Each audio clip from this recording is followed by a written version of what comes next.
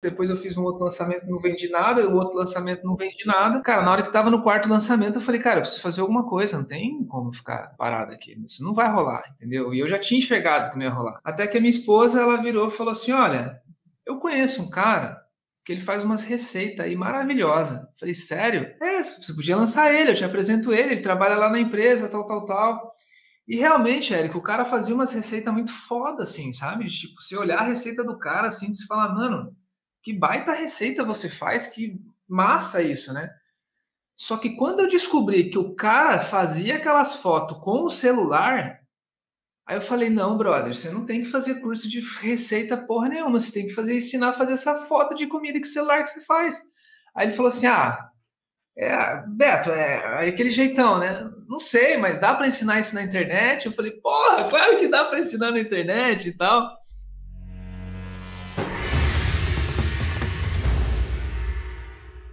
Opa, aqui é o Eric, bem-vindo ao podcast Faixa Preta, uma conversa com alunos e alunas da Fórmula de Lançamento que fazem 2 milhões de reais por ano com as técnicas da Fórmula. O papo hoje aqui com Beto Moreno. Tudo bom, Beto?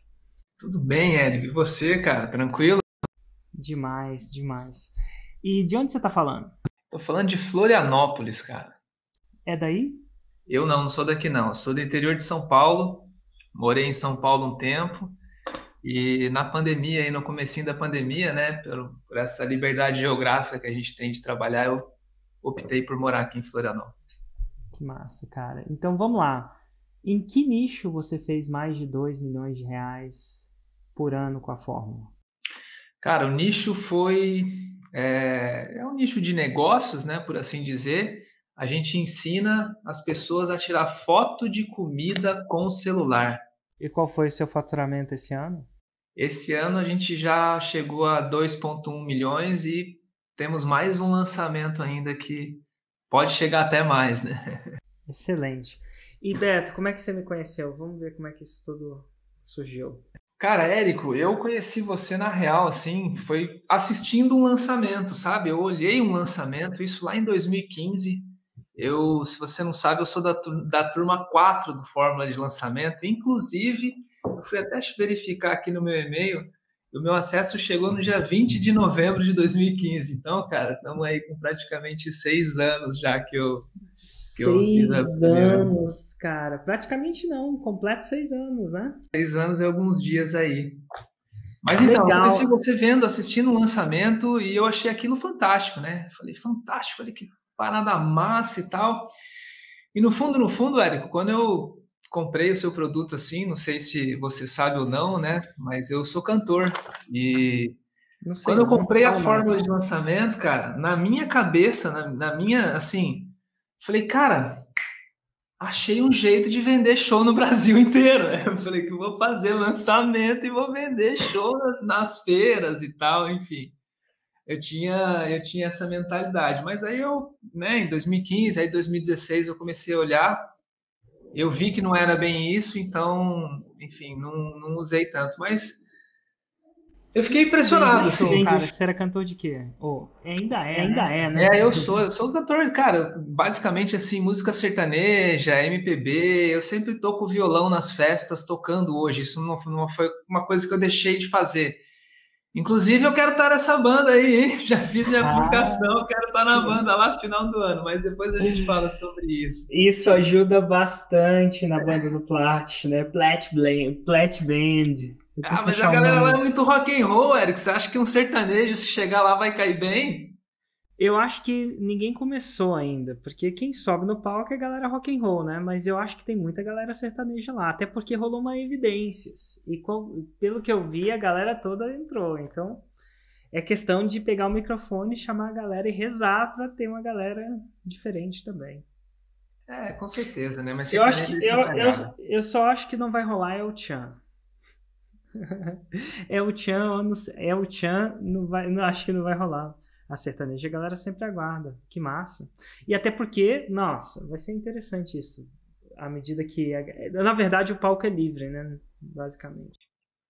Não, legal. Então, voltando, né? Aí eu realmente, cara, quando eu vi a oportunidade da fórmula de lançamento, eu pensei real, assim. Inclusive, foi um cara de. Eu tava gravando um disco na época e o produtor musical falou, cara, eu mostrei para ele, né? Olha o curso que eu comprei, mas olha a forma aqui que esse cara vende, né? Na época era um curso de desenvolvimento pessoal e tal.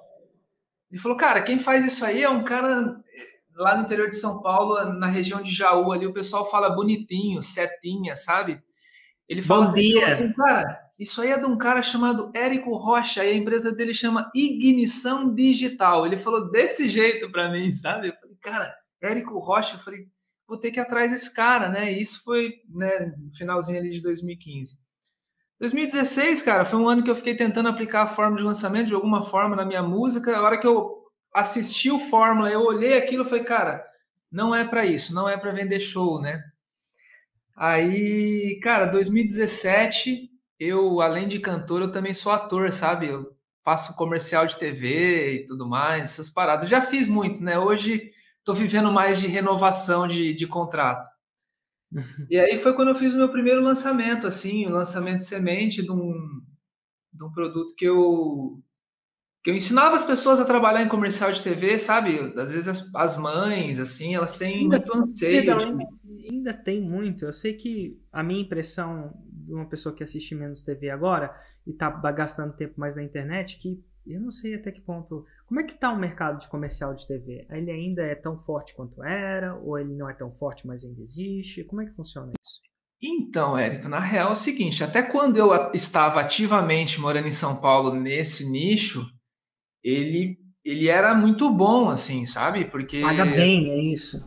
É, paga, paga bem. Não é faixa preta, né? Mas paga muito bem, assim, tipo, é um negócio que é, é bastante rentável, porque é um trabalho que você pode fazer, sabe, esporadicamente. É um trabalho de empreendedor, você não tem salário, entendeu? Tem mês que tem, tem mês que não tem. Mas eu não vivo mais ativamente isso, Érico. Desde quando eu saí de São Paulo, assim, eu já, eu já, eu já vim para cá me dedicando só aos lançamentos, assim. Então, hoje, ativamente, eu já não estou mais nessa vida. Eu vivo essa vida porque eu gravei muitos comerciais e volta e meia vem um contrato aí para eu renovar. Então, assim, isso é. é você diz, é, porque o cara já tem a sua cara naquele determinada linha de comercial, ele quer continuar com a sua cara e voz, a sua atuação, é isso? Tipo, cara, por exemplo, comercial da Trivago que eu fiz aí, né? Gravei em 2019. É um cara que ele faz uma cara de tacho. Ah, fulano de tal pagou mais barato e você pagou mais caro. Aí o cara faz uma cara, tipo, ele cai assim. Então, isso eu gravei em 2019 e tá passando até hoje, cara, e fica renovando o contrato. Anualmente as pessoas renovam. Então, isso é uma parada ah, interessante. É tipo direitos autorais, de... sabe? O, o, no comercial você não recebe pelo job de gravar, você recebe um royalty por quanto tempo passa? É, eu recebo pelo job e pelo e pelo que, por exemplo, assim, você está é, você está em exclusividade, a sua imagem está em exclusividade com a marca pelo período de X meses ou X anos, entendeu? Ah, porque senão você podia em teoria, gravar com concorrente dele, né? É, não poderia gravar, eu não posso gravar com concorrente deles. É, comercial de TV é essa parada. Os grandes comerciais, aqueles que pagam muito bem, geralmente, por exemplo, quando eu vou gravar comercial da Honda, eu não posso gravar comercial da Chevrolet. Entendeu? Tem essa parada. Entendi. Mas e, e a sua imagem fica meio que presa naquele contrato, claro, né? Porque a cara é comercial da coisa. Então você ganha os royalties, assim, de vez em quando. É, é renovação, cara. É bom, assim, é massa, sabe? É legal. E as pessoas te veem, né? Cara, te vi lá no comercial de tal coisa, te vi lá no comercial de sei da onde. É, é massa. Então eu vivi muito isso. E aí, 2017, cara, eu usei a fórmula de lançamento para fazer esse produto, sabe? De ensinar as pessoas como que realmente era o game disso, como é que funcionava isso, né? Porque, cara, eu vinha, eu via, eu via gente saindo de Goiânia, assim, sabe, pegando estrada para estar tá em São Paulo no outro dia, para filhinha fazer um teste de comercial e a galera voltava, falava: Meu Deus do céu, mas não dá para fazer por celular de alguma forma. Enfim, eu queria tentar tentar fazer alguma coisa nesse mercado, só que aí eh, acabou que não rolou. E por que não? Qual que é a sua visão de hoje que, que não rolou? Não rolou porque assim, e esse produto eu continuei com ele, sabe, Érico? Eu não fui, eu não larguei ele não. Em 2017 eu lancei ele, lancei o semente. 2018, cara, aquela coisa, né? Eu fiz aí 10 vendas em 2017, foi uma coisa interessante. Só que era meio que uma demanda reprimida que vendeu e não, não, não vendia mais, assim, sabe? Cheguei até a fazer outros lançamentos, não vendeu. E aí, 2018, eu fui vender produtos orgânicos, né? Usando a fórmula de lançamento e todos os gatilhos mentais, assim, enfim. Vender produtos orgânicos. Pô, depois do comercial de TV, produtos orgânicos. Conta essa história aí, eu achei legal. Antes era ser cantor, né, cara? Vai vendo. Mas enfim, é, foi todo um processo, né, cara? Eu sempre, meu pai, assim, foi um, ele sempre me estimulou muito, assim, a trabalhar para mim, sabe? Tipo, cara, você tem que trabalhar para você, você tem que ter um negócio próprio. Eu, eu, sempre tive muito esse estímulo desde moleque em casa. Meu pai sempre falou isso pra gente. E tudo eu via como um negócio, né, cara? Tipo, para mim, desde a época lá de música, quando eu vi o fórmula de lançamento, eu falei, cara, eu vou vender show com isso aí e, e, vou conseguir montar uma empresa e montar meu negócio de música ao vivo e vou sair tocando o país inteiro, tipo essas paradas. Mesma coisa o, a questão do quando eu montei esse curso para ajudar as pessoas, né, de alguma forma a trabalhar nesse meio. Mas o que, que é orgânico você tentou vender? É, e, e, a, e, a, questão do orgânico veio da mesma maneira. Só que, cara. O que, que foi o orgânico, cara? Então, o orgânico, então, eu comecei o orgânico. O que, que é orgânico? É, o orgânico é que, tipo, quando eu falo orgânico, é produtos orgânicos que eu vendi. Uma loja de vender, sei lá, castanha orgânica, Porra, geleia orgânica. É Nossa, eu tava confundindo. Tava confundindo com o termo orgânico no marketing digital, que seja um tráfego não pago, uma coisa mais espontânea. Então você tentou vender castanha orgânica, geleia orgânica. Cara, assim, também não rolou porque eu queria o 6 em 7, né? O 7 em 7, viver tudo aquilo que eu via nos eventos do Fórmula no final do ano, né, cara? E, e aí foi que em dois, no, eu lembro que no final de 2017 você abriu um mastermind, não me lembro exatamente o nome dele, mas não chamava Insider. Aí eu ah, falei, poxa, acho que eu vou entrar nisso aqui. Aí tinha um número mínimo, eu não tinha número de faturamento mínimo para entrar. Aí eu lembro que no final de 2000, acho que foi no final no final de 2018 que aí eu resolvi entrar no Insider, assim, sabe? E, e aí foi uma parada que modificou muito para mim, porque, cara, eu estava conectado com a parada lá de vender orgânico, geleia orgânica e castanha orgânica na TV, no, no, na internet. Aí eu virei e falei assim: não, cara, eu vou entrar para o mundo do fórmula de lançamento de novo. E eu lembro que quando eu entrei, cara, o que, que eu tinha para entrar? Eu tinha aquele meu produto lá de ator, né? Que tipo, eu ensinar a galera a trabalhar em comercial de TV e tal. E, e eu lembro que eu pedi uma ajuda pro meu pai, assim, de falar, pai, seguinte, eu vou entrar num programa aí de uma galera de Brasília, é um cara que ele ensina a fazer fórmula de lançamento. O que é fórmula de lançamento? Fala, eu falei, pai, é um negócio que vende na internet, assim, que é muito louco, é... A gente grava conteúdo, aí a gente faz uns lançamentos, aí a gente investe no Facebook. Ele falou, cara, é isso que você quer fazer? Eu falei, é, pai. E o que, que você vai fazer com isso? Falei, ah, vou vender lá meu produto de ator. de como é que faz para trabalhar em comercial de TV. Aí ele falou, ah, então tá bom. Mas eu eu meio que já entrei assim para entender a técnica, sabe? Para saber um pouco mais a fundo de como é que funcionava isso. E cara, qual eu falei que convenceu? Porque a gente está falando de um investimento de quanto é que você pagou na época, você lembra? Ah, cara, era um número quebrado, assim, era um número tipo 41,990, era uma coisa assim, tipo isso. E então, caro, você tinha que pedir o gatilho mental do pai. O gatilho mental do pai tinha acabado de casar, Érico, sabe? Puta, 2017, casamento, você sabe que a festa é A festa é, ela deixa um, um, rastro, né? Ela deixa um rastro por um bom tempo. E, e, e o que, que eu falei ali no evento, olhando para trás? E se a gente está falando de 2018, então é, foi um evento ao vivo presencial. O que, que eu falei ali que te deu. Joga a maleta, coragem? joga a maleta por cima do muro, você falou.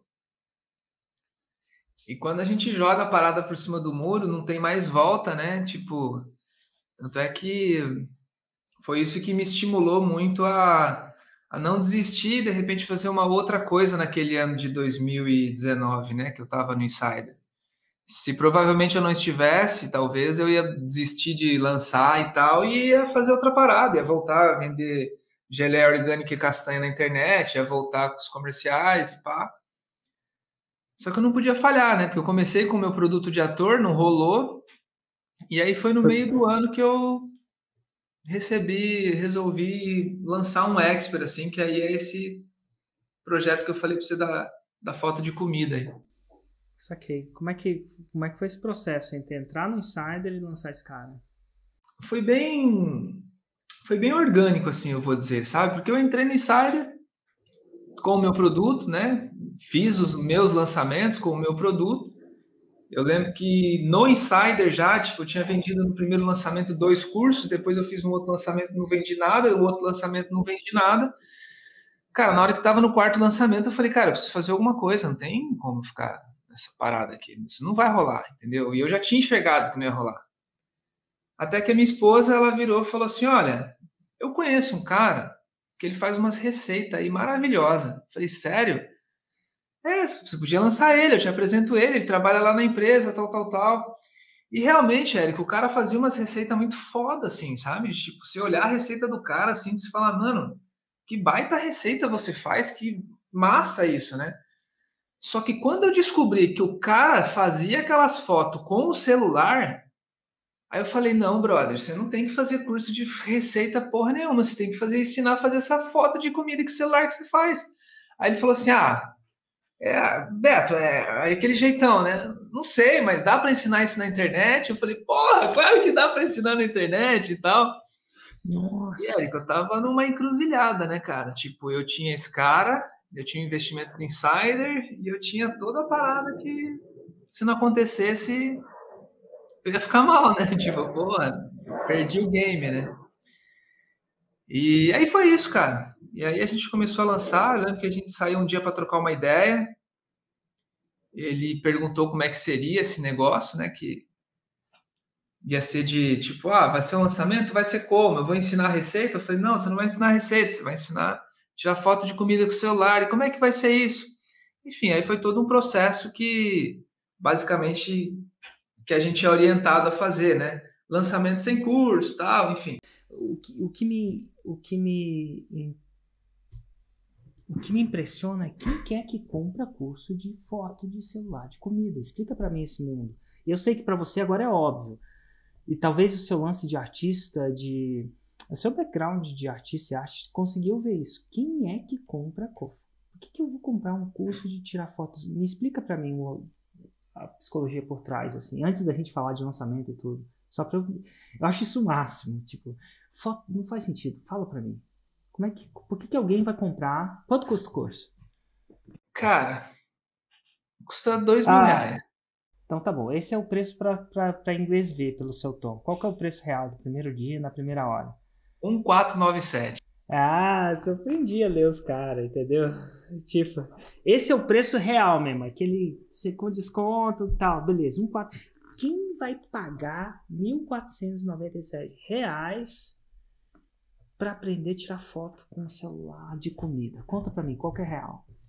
Cara, a real foi o seguinte, logo quando eu comecei a trocar ideia com esse cara, e assim, quando a gente entra no Insider, a gente já começa a ter uma visão um pouquinho mais ampla do negócio como um todo, assim, tipo, você já tá naquela pegada, tipo, cara, quando eu resolvi fazer um expert, eu falei, cara, eu já não posso mais. Não é que eu não posso errar, até pode. Inclusive, já errei bastante depois disso, mas eu falei, cara, tem que olhar uma coisa aqui que seja única, desejável, e como é que a gente vai fazer isso? O cara fazia receita. Certo. É, receita por receita, mano. Não, é, é, eu tô, tô comprado nessa história, receita por receita. Aí você viu o celular. E aí?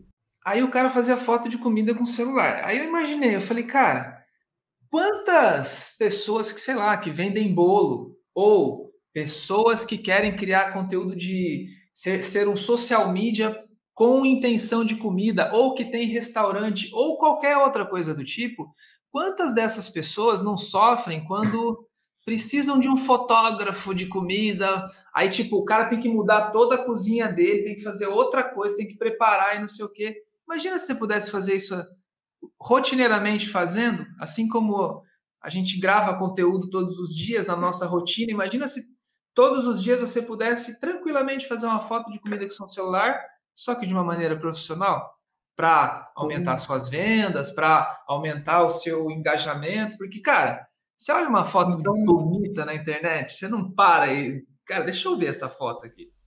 Não, tô começando a sacar. E o seu avatar são, é quem? Quem que é o clássico, cara? Da maioria. Eu sei que deve ter de tudo, né? Mas quem que é o clássico que compra? Nós temos dois, cara. Não tem um só, não. Ah. Tem dois. Um é o cara que tem um negócio de comida, uma boleira, doceira, enfim, e afins, donos de restaurante. E o outro são pessoas que, tipo, essas boleiras, às vezes, elas não querem fazer. Então, elas têm, tipo, o lançador, né? Elas têm o social media, que é os caras que vão lá e produzem o conteúdo para elas colocarem na internet, entendeu? Então, tem esses dois. Então, social media. E se você declarar uma porcentagem de cada um dos seus clientes, quem, quem qual a porcentagem de cada um? Cara, hoje, né? pelos históricos que a gente tem do, dos nossos cursos, assim, a gente está falando em torno de 73% pessoas que têm negócio próprio. E 30%, 70-30. É, mais ou menos. E pessoas que. Só que essa, essa, essa questão do, do, vamos dizer assim, o criador de conteúdo, social media, nos últimos tempos ele, ele vem aumentando bastante, porque. A profissão ter ficado mais óbvia como um recurso, né? Cara, e você me falando dessa parada, como esse negócio de foto de comida com celular? E olha que louco, isso tá virando uma profissão, cara. Tipo, tirar foto de comida com celular, o cara é muito bem pago por isso, né? Ganha, deve ganhar muito bolo. Fazer muita pergunta.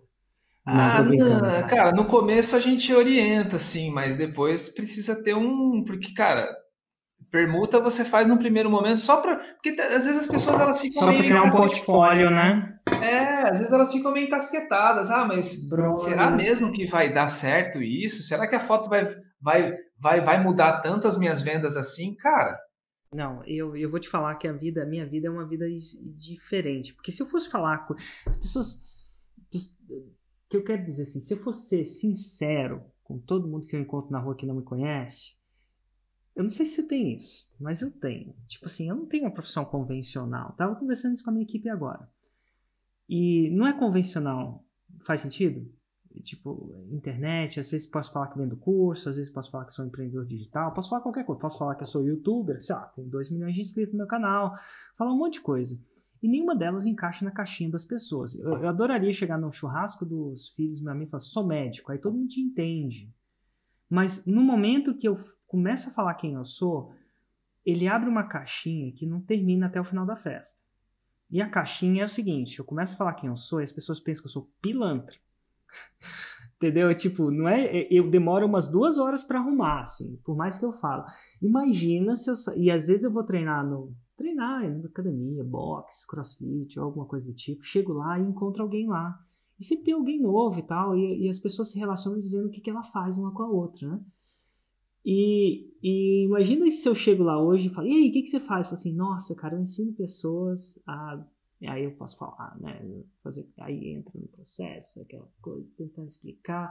E às vezes, se eu falar que eu ensino as pessoas a fazer 6 em 7, eu tenho que fazer um CPL ali na frente ao vivo. Eu não quero fazer um CPL, só quero fazer um, uma barra, alguma coisa assim, puxar um peso, aquela coisa toda. Imagina você, Imagina você, cara, eu ensino as pessoas a tirar foto de comida e eu faço mais de dois e eu faço mais de 2 milhões por ano. Eu não sei nem se seu pai entende isso. Seu pai entende? Cara, meu pai, meu pai ele é um dos poucos assim que sabe, entende, vibra, mas é, é... segunda pergunta, segunda pergunta. Você pagou seu pai de volta? Cara, que louco. não deixou. Eu falei assim, pai, eu tenho dinheiro, cara, eu quero colocar na sua conta. Ele falou, pelo amor de Deus, não quero que você. Enfim, mas é pai. Eu, pai e mãe pai, é pai. A gente não vai querer, se não tá precisando, a gente entende isso. Mas às vezes a gente esquece de pagar o pai. Mas enfim, você teve essa visão, você falou, velho, é isso, bora lançar. Como é que foi o primeiro lançamento? Cara, o primeiro lançamento foi bem interessante, assim, porque no primeiro momento, assim, as pessoas estranham nessa né, coisa de gravar conteúdo e ter que ensinar o que, que, quer que seja, mas você tem que mostrar aquilo como uma coisa interessante. Então, esse é um primeiro coisa que demora a entrar na cabeça, principalmente da pessoa que não, não respira aquilo que a gente está respirando, né? E, enfim, que quer que seja isso, o jeito que a gente acredita ser certo de fazer as coisas. Então, Uhum. No primeiro lançamento, nós gravamos um, um vídeo semente. Eu lembro que a gente fez ele gravado, porque ao vivo não ia rolar, porque era muito. O Expo ele era fechado no começo, né? Hoje ele faz live todo dia, se precisar. Mas no começo não era. A gente fez uma parada gravado, escreveu tal, e, cara, brilhantemente, assim, o primeiro lançamento foi muito legal, porque foi uma prova de que a parada realmente ia acontecer. Eu lembro que ele até perguntou para mim, falou, cara, o que você vai vender? Você vai vender um curso de assinatura? Né? Um, sei lá, R$29,90, essas paradas? E eu falei assim, não, cara, teu curso vai custar mil reais. Na época, né, que a gente cobrava mil reais. Ele falou assim, quem vai pagar mil reais para comprar é, curso de foto de comida com celular? Você tá louco? Tipo aquele ah, meme é, daquele tipo carinha lá. Tipo isso. Aí eu virei e falei assim: não, cara, fica tranquilo. Aí eu falei assim: eu, eu lembro que na época ainda, ele virou e falou: olha, eu só não tenho dinheiro para investir. Eu falei: relaxa, cara, pode deixar que isso aí eu invisto, que é sucesso certo, né? O cara falou: se você tá falando, então tá bom. Mas, Érico, eu tava numa encruzilhada, né, cara? Já tava lá, de, naquela época, devendo dinheiro pro meu pai e tal, não sei o quê. Tinha. Ainda falei pro meu pai que a, a metade do valor do insider eu falei pro meu pai que era 100%, porque eu tinha pago a outra metade que eu tinha essa parada. Hum. Cara, não tinha como dar errado. Aliás, não podia dar errado. Se desse errado, eu tava fodido, na real. Entendi. E aí foi que brilhantemente a gente começou a fazer o lançamento. O, o combinado era investir 2 mil. E aí, como era eu que estava investindo, eu falei, nossa senhora, cara, o negócio está muito bom demais para ser verdade aqui, tá funcionando as paradas, né? Como eu não via funcionar no meu, mas no dele eu olhei e falei, cara, a coisa está funcionando. Fui lá e coloquei mais dois. Eu falei assim, ah, isso aqui tá bom demais. Eu vou, para que que eu vou colocar só dois? Eu vou colocar mais. Aí, Eric, eu lembro que no primeiro dia de carrinho aberto, assim, na, na, na quinta-feira, né, à noite, né, que é o dia do semente e tal. Cara, vendeu um curso, sabe? Tipo, vendeu, vendeu um. Aí eu pensei comigo, eu falei, caramba, cara, vou ter que fazer o cara gravar um curso inteiro para uma pessoa. Imagina eu aquela noite indo dormir, né? Uma pessoa, Imagina. porque geralmente quando a gente faz o lançamento, hoje a gente acostumou que as vendas tendem a cair no, no primeiro momento, assim, né? Quando não cai no primeiro momento, alguma coisa tá errado. Enfim. Cara, fui dormir, tipo, cara, eu tinha gasto 4 mil reais, tinha dado um aluno, ia ter que falar pro cara gravar o curso inteiro para um aluno. E aí aquela noite eu fui dormir assim, falei, meu, acho que eu não sirvo para isso mesmo. Cara, essa parada aí não, não é para mim e tal.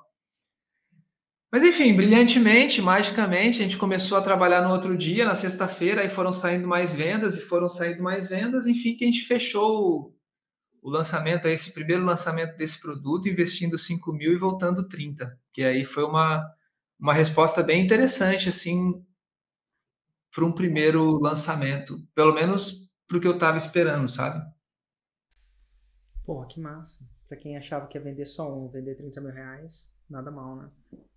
É, eu, eu não achava que ia vender um, na verdade. Eu queria vender mais. É que na primeira noite, como vendeu um, eu fui dormir malzão, assim, sabe? Tipo, caramba, que foda, de novo. Né? Olhando com os olhos que você tem hoje, o que, que você acha que aconteceu no orquestrar, na, no, na, no, no, orquestrar do lançamento? Ah, não, faltou é, efeito de tsunami, é, faltou uma série de coisas ali que a gente não colocou, né, cara? Então, é só, assim, pelo menos comigo, né? Fazendo, fazendo, fazendo, chega uma hora que a gente começa a ter um pouco mais de de precisão, mas cirurgicamente o que a gente não fez ali foi um bom efeito de tsunami, assim, faltou. Clássico, né?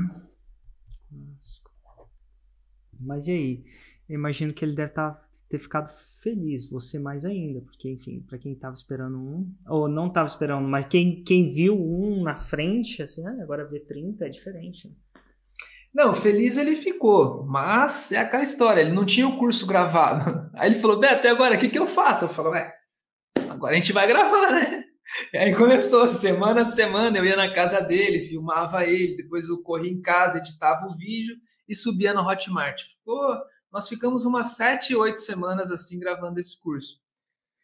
Só que nesse inteirinho, Eric, eu precisava levantar é, fundos, né, para renovar o Insider. Eu queria, cara, eu, cara, eu queria estar próximo, né, da, da, da galera. Não, tipo, não renovar o insider com aquele produto de vender foto de comida com celular, para mim não era uma escolha, sacou? Eu tinha que, eu tinha que me virar. Eis que a gente lançou em. A gente tinha. O primeiro lançamento foi em setembro de 2019. Aí a gente lançou em outubro de novo e nós lançamos em novembro de novo. Mesmo que não recomendado, né? Mas nós lançamos todos os meses assim. E foi um sucesso, cara. Foi bem interessante. Eu lembro que a gente saiu naquele final de ano lá com 80 mil reais de, de, de faturamento em 2019. Nossa. E, cara, para mim, assim, que comecei o ano com dois mil reais de faturamento, depois veio o produto da foto de comida, nós fechamos com 80, porra, fiquei feliz assim. Imagina. Renovei o Insider, né, para 2020. E, e aí, como foi 2020? Cara, 2020, além desse, desse foto de comida com celular, eu também tive mais duas pessoas de expert trabalhando, sabe? Tipo, uma, uma, uma moça de nutrição e um outro cara da espiritualidade. E seguimos lançando é, na, mesma, na mesma frequência, né? na mesma, cada um ali com seus seis lançamentos por ano, é, deixando a agenda, a agenda certinha e tal. E até que o, o, primeiro 6 em 7 ele chegou em julho de 2020. O primeiro 6 em 7 nós batemos em julho de 2020. Que, que foi uma parada muito louca, assim. Quando chega o primeiro 6 em 7, parece que você está está trabalhando tanto, sabe? Que na hora que chega, assim, você fala, cara, que massa, chegou, porra, da hora, é isso mesmo, mas ó, vamos continuar, que tem que fazer aí, tem que colocar os alunos na plataforma, tem que fazer não sei o quê, enfim, é tanta coisa ao mesmo tempo, né, cara? Você lembra do faturamento dele? Cara, era tipo, cento, foi 112, 112, uhum. assim. E é, eu entendo isso, né? Você tá matando um leão, mas já tá com o olho no próximo, né? Eu acho que isso é interessante. É uma coisa do insider que a gente não deixa as pessoas descansarem de mais nem de menos, né? Eu acho que é interessante estar sempre com o olho no, na faixa preta, talvez é a palavra. Mas aí, mas eventualmente, julho de 2020, plena pandemia, é, tipo, plena pouco, né? pandemia, né? fazendo 6 em 7. Aí eu lembro que foi uma sequência de 6 em 7, assim, tipo, eu não sei exatamente o que, que acontece nessas paradas, mas quando a gente bota fé e a gente entende como que a coisa funciona, todos os experts né, começaram a fazer 6 em 7. Depois do primeiro, todos que estavam próximos da gente, assim, eles começaram a também fazer o 6 em 7, sabe? Então, e foi um ano muito bom para a gente também, no ano de, de 2020, que a gente fechou aí com mais de um milhão de, de faturamento, que foi o ano passado, assim. Para quem faturou 80k, 80 mil reais em 2019, agora você está falando do faturamento bruto em 2020 de mais de um milhão. Você lembra mais ou menos quanto foi? Cara, foi tipo 1 milhão 89 mil e alguns quebrados, assim. Mas agora você é uma faixa preta de terceiro grau. Não, é, perdão, faixa marrom de terceiro grau. Faixa marrom de terceiro grau, sim, faixa marrom de terceiro grau. Cara, fechei o ano de 2020, sim, faixa marrom de terceiro grau. É, bastante expectativa. Só que, cara, no ano de 2020, é, nós encerramos a parceria tanto com essa moça de nutrição e também com esse rapaz de, de espiritualidade. Nós ficamos só em um produto, assim, sabe? E, cara, magicamente, assim, nesse ano de Aquelas paradas, né, que você sempre fala do adolescente, o faixa marrom, adolescente, que agora ele sabe tudo, agora ele sabe fazer as paradas. Então a gente teve essa ideia de lançar um monte de mais de uma pessoa. Aí, cara, em 2021 a gente resolveu abrir é, somente com esse da foto de comida, né? Então, assim, cara, aí logo no primeiro ano, logo no primeiro lançamento em fevereiro já foi tipo quase 500k de, de, de investimento no primeiro lançamento. É, o segundo lançamento já chegou a bater sete dígitos, mas agora, como a gente está assim, sete é, não existe meio sete, é, quase sete dígitos, existe os sete dígitos. Só que como a gente vende, vendeu muito em boleto, parcelado, essas paradas, o faturamento daqueles sete dias não bateu os sete dígitos exatamente. Mas assim, foi um lançamento de 980 mil reais. Então, assim, cara, é, nessa progressão assim que a gente entrou 2021 e cara, foi fantástico assim, foi muito foi uma experiência muito boa assim. Eu sei que E quando veio a faixa preta em 2021? Quando é que chegou o dia da faixa preta? Agosto. Agosto, meio do, agosto. meio do ano, né? Em agosto chegou a faixa preta em 2021 meio exagerado, porque é mês 8, né? Mas enfim, marqueteiro sempre mede agosto como meio do ano. Ai, ai, cara. E você foi o faixa preta número. É, 146. Tem aí? Pode Tem mostrar? Aqui, aqui. Ah, pega aí. Aí, aí, ó. Faixa preta número 146. Meu Deus. Que massa. É, e a gente tá, se não me engano, a última vez que eu cheguei com a minha equipe, a gente estava no, no, no, faixa preta 194 formado pelo Insider, né? Então, 194 faixas pretas formados já. E você foi 146, ainda no meio de 2000 e meio, né? Em agosto de 2021. Agora, que, que, agora vamos pensar em algumas coisas. Você vindo lá de trás, desde né, do, da sua faixa branca, dos seus vários lançamentos que não deram errado, que deram certo, aquela coisa toda. Que dica que você dá para quem está entrando nesse processo agora? Sabendo que você sabe. Cara, coragem e comprometimento. É só isso. Porque se você tem coragem, você acredita em você. Só que você tem que ter coragem, cara. Pra, cara, eu senti aquilo ali. Eu falei, cara, é isso, tá certo. Eu não sei de onde vem, que quer que venha essa parada de sentir e tal, que a gente não vai entrar nesse papo aqui, mas eu falei, cara, só preciso ter coragem de assumir que é isso. E aí, quando eu já ouvi várias palestras suas, né? A gente ouve direto, mas é aquela coisa, quem tem mais argumentação ganha, né, Érico? Numa, numa, numa, numa possível, não discussão, mas numa possível, num possível é. diálogo, né? Então, quando uhum. você tem coragem de, cara, realmente falar, cara, é isso, e vai atrás que, que vai dar, a segunda coisa que precisa ter é o comprometimento, né? A hora e o que, que, que, é o compromet... que, que foi o comprometimento para você? Cara, o comprometimento Como é traduziu. É, é, seguir a risca o que é pedido para ser feito, né? Porque nos nossos primeiros lançamentos, a gente, principalmente nas análises, a gente reprovava logo de cara na produção de conteúdo, né? Ah, mas tá fazendo dois reais sete Nutella, então sim, pode parecer uma coisa boba, mas cara, é o comprometimento de você fazer o que tem que ser feito, entendeu? Quando você faz o que tem que ser feito, tem a coragem de, de assumir aquilo, assim, é, eu não vou falar assim, ah, não tem erro, porque aí estatisticamente a gente está falando uma parada, mas não tem como não dar, entendeu? ou pelo menos eu não, eu não, não vejo isso assim de, de dar erro quando a gente segue com coragem e comprometimento. Engraçado que, por mais que isso seja meio jargão, coragem, comprometimento, e a gente não combinou o que você ia falar aqui. O que você está falando aqui é o que realmente foi importante para você, né, no caso. É, por que, que você acha que. Onde, é que vem a dificuldade de ter isso? E como é que você tem isso quando você não tem isso? Isso é alucinação, tá? Você acha que isso é uma coisa ou a pessoa tem ou não tem? Que a pessoa nasce com ela? Ou como é que você. De onde você busca coragem e comprometimento? Cara. No seu vem, caso, né? né? No meu caso, bem específico, assim, eu não sei falar das outras pessoas, mas Cara, aí eu ouço aquela voz, como eu volto a falar aqui, por exemplo, do meu pai, né, cara? Do tipo, cara, você tem que trabalhar para você, trabalhar para os outros. Ah, você vai carregar. Cara, eu lembro do meu pai falava, você vai carregar o piano para os outros tocar? Enfim, essas paradas.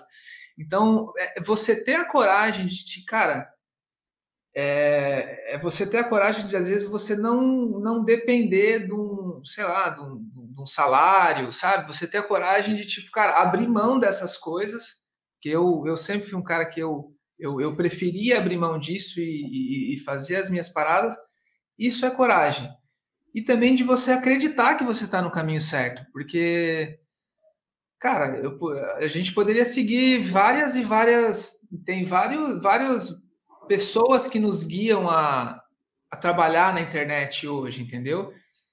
Cara, coragem é tipo, cara, é, é, você ter a certeza de que você tá no lugar certo, com as pessoas certas, né? Ou que, com o produto certo.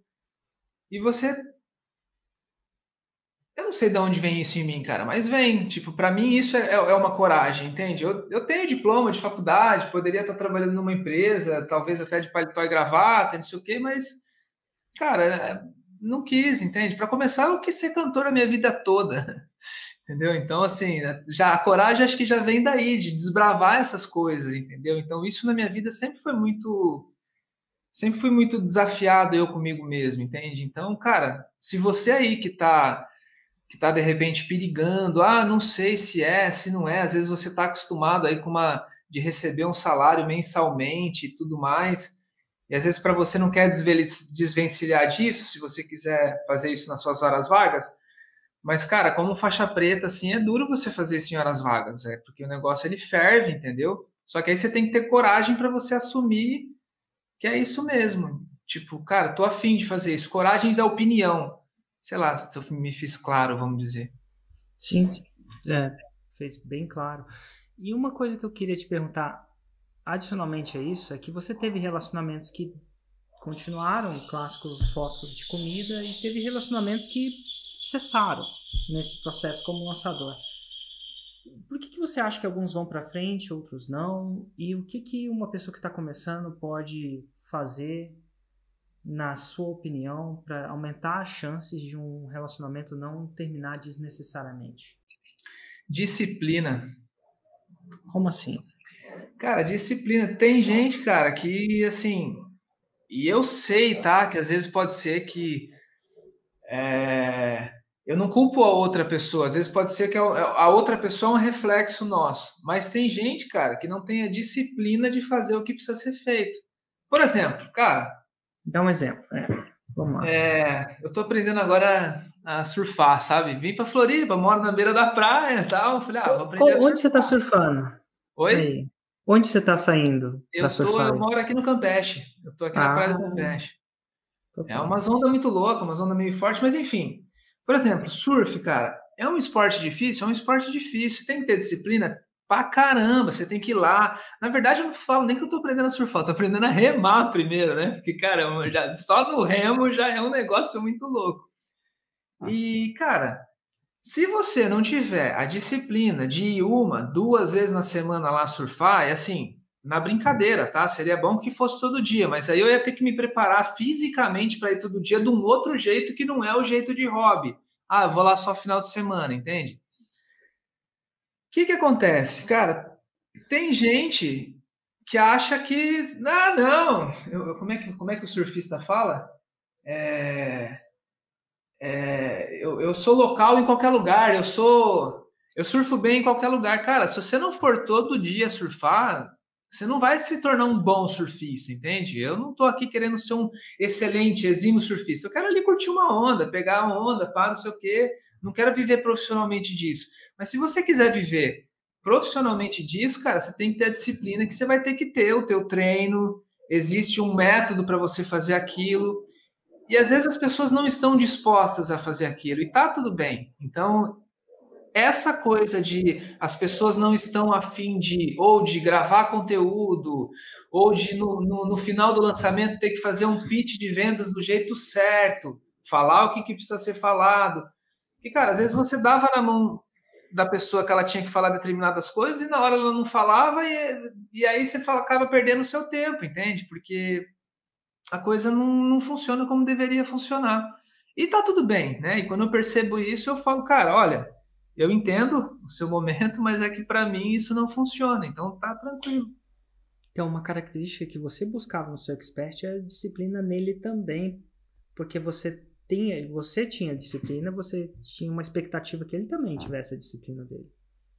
Mas aí, Érico, é uma questão de sociedade, né, cara? Você não vai ser sócio de uma pessoa que ela ela tem que estar tá complementar a você. É difícil ela ser muito diferente de você, entendeu? Uhum. Vocês têm que estar tá com as mesmas ideias, querendo chegar no mesmo lugar. Isso não tem como, senão, cara, é murro em ponto de faca aí, né? Entendi.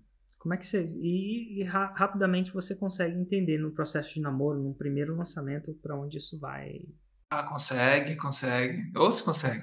Você já percebe quem é quem, você já percebe a atenção. Cara, um expert, ele. Sabe, Érico, às vezes, numa dessas de tentar explicar o que, que eu faço para as pessoas, né? Essa parada muito louca. O que, que você faz? Ah, eu sou lançador. Que porra é essa? Enfim. E as pessoas acham que é tipo, cara, quando você fala de vender alguma coisa na internet, as pessoas acham que vão gravar um vídeo e a coisa vai acontecer, né? Tipo, que nem se faz churrasco. Você vai lá, acende a churrasqueira, bota a carne em cima e ela vai acontecer, entendeu? Não é assim. Não é. Existe não, uma técnica. Não é simplesmente assim, não. Até entendo isso. Cara, e que que, assim, hoje, na faixa preta, vindo do absoluto zero, vou chamar do que você veio de absoluto zero, né? Você não tinha dinheiro, teve que pedir pro seu pai. Não tinha produto, ou tinha produto, mas acabou não lançando, acabou não sendo faixa preta no produto. Então, vou falar que você construiu essa parada do zero. Ninguém vai falar que você nasceu em berço de ouro ou tinha alguma condição privilegiada para tal. E agora chegando numa faixa preta, onde você, tipo, no meio do ano chega um faturamento desse, que é de se. que se você conta na rua, as pessoas vão achar que é mentira. As pessoas. Algum aí deve achar que é mentira, inclusive, né? Sempre tem um. Mas assim, se contar, você deve ter até medo de contar para quem você vai contar, né? Porque, enfim, as pessoas lidam com o dinheiro de uma maneira diferente. Eu sei que nesse contexto que a gente está aqui é um contexto de inspiração, até sou muito grato por você se abrir em relação a isso, mas né, é raro a gente contar o que a gente ganha aí na rua, né? Mas enfim, para muitas pessoas que iam achar que é mentira, então, mas você sabe que é isso, né? O que, que você, o que, que isso significa para você? O fora do cifrão na conta, o que, que é isso tudo significa para você? Ou o que que isso traz para você? Cara, me traz uma realização, sabe? Uma realização de, de sucesso, assim, basicamente. Como eu falei para você, cara, hoje eu tô com 36 anos e praticamente desde os meus 18 eu quis muito ser músico, cantor, né? Tanto é que se você digitar Beto Moreno aí no Spotify, você vai achar, entendeu? Eu gravei minhas músicas, fiz as paradas, eu não vou falar para você que não aconteceu de alguma forma, sabe? Mas o escalão que eu gostaria de chegar, ele não chegou. Eu ficava num escalão muito abaixo, assim, que quer que seja abaixo no meu ponto de vista. O lance do faixa preta, cara, e, e, e tudo isso desde o do ano de 2015, né? No 15, 16, 17, os eventos que eu ia participando. Cara, eu olhava e as, e as pessoas falavam, ah, fiz seis em sete, subia no palco, a gente via aquele monte de gente, fiz sete em sete, e, e participando de programas de mentoria com você e tudo mais. Cara, a realização que eu tenho é de vitória, sabe? Embora eu sei que agora nós temos os graus, né? Faixa preta, primeiro grau, aí vem o segundo grau, terceiro grau, e assim a gente vai. Eu acho fantástico e magnífico esse game que foi criado né, por você e por toda a equipe, que eu acho que isso motiva muito a gente. Mas, cara, eu sinto uma parada de vitória, porque hoje, por exemplo, eu posso eu posso virar para minha esposa e falar assim, fala, não, vamos trabalhar comigo, a gente está precisando de gente e você não precisa mais, sei lá. Ela vivia reclamando que ela andava, andava no metrô lotado em São Paulo e aqueles horários de pico e, e aquela doideira toda, ela não conseguia ficar em casa para fazer as comidas que ela gostava. Cara, e ela gostaria de morar na beira da praia também e tal. E eu, eu ficava imaginando, falava, meu Deus do céu, como é que eu vou fazer isso, né, cara? Como é que vai ser? Assim, legal comercial de TV e, e, cantor, só que não ia dar essa, essa tração de vida que, que a gente tem hoje, entendeu? Então, na minha visão, cara, eu sou bastante feliz, assim, hoje eu sei lá, toco violão aí nas rodas de amigo, de, de festa de amigo, feliz da vida, a galera curte.